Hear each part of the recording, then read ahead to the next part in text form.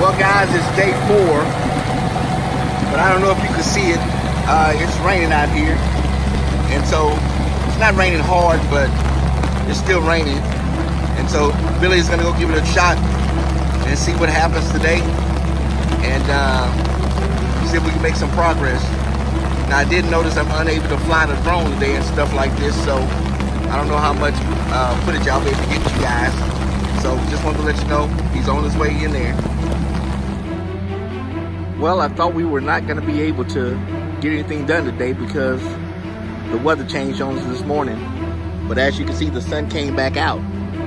And uh, and Billy is back at it. So uh, so we still got some progress going on. So I'll give you some aerial shots in just a few moments to show you what day number four looks like. Uh, he's getting after it, as always.